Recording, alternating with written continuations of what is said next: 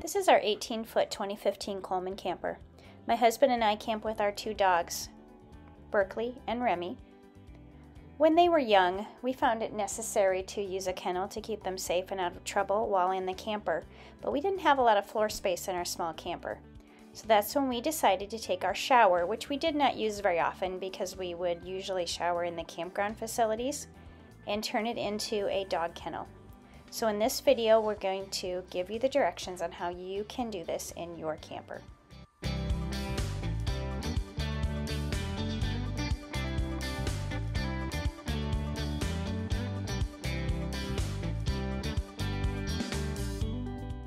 With your accurate measurements in mind, you can begin construction.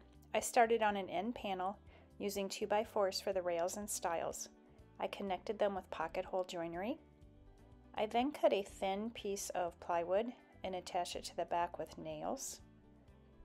To protect the shower walls, because I do intend on removing this kennel when the dogs are larger, I used felt, adhesive felt. I then used exactly the same process to complete the back panel. Now moving on to the front wall, which is the wall with the faucet. Because Berkeley is tall, the kennel needs to be the height of the faucets, and I still wanted to be able to access the faucets especially during the time when we're winterizing the camper. I need to be able to turn the water on and off and clean out the hoses. So I had to be really creative. And this really depends on your faucets, but you can see that I've layered some 2x4s to get the right dimensions. And you can see here when it's installed, I'm able to still put my hand in and open and close the shower valves. Now underneath, I was a little worried that Berkeley would get under there and accidentally turn on the water. So I also made sure I sealed that off so he was not able to get in there.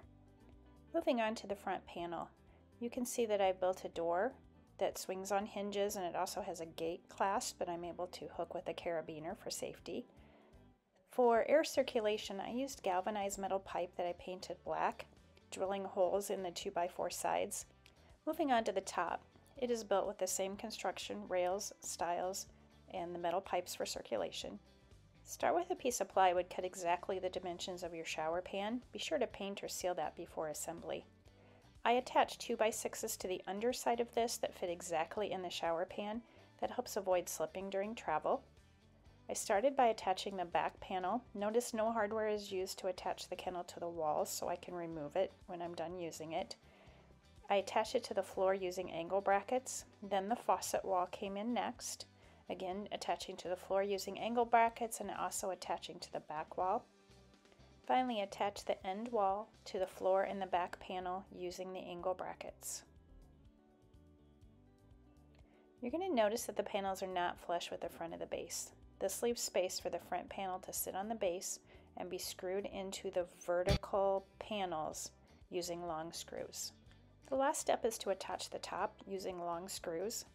Notice it is slightly shorter to still allow access to the faucets. One investment you need to make for the comfort of your dog is to buy a rubber mat and some type of kennel cushion to protect them from the angle brackets that were used in assembly. I hope this helps you and your dog to enjoy camping together. If this was helpful, please consider giving us a thumbs up. Have a great day!